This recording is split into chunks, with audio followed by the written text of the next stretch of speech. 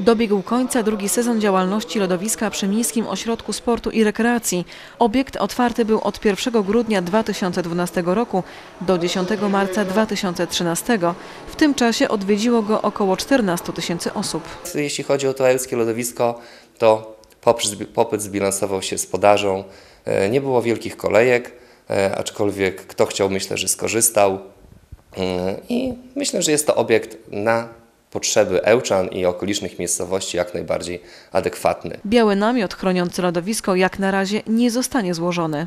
Z racji tej, że takich po prostu potrzeb nie ma, e, każdorazowe złożenie namiotu e, wiąże się z horrendalnymi kosztami, zarówno przy rozkładaniu, jak i ponownym składaniu. W następnym sezonie lodowisko ponownie zostanie otwarte na początku grudnia.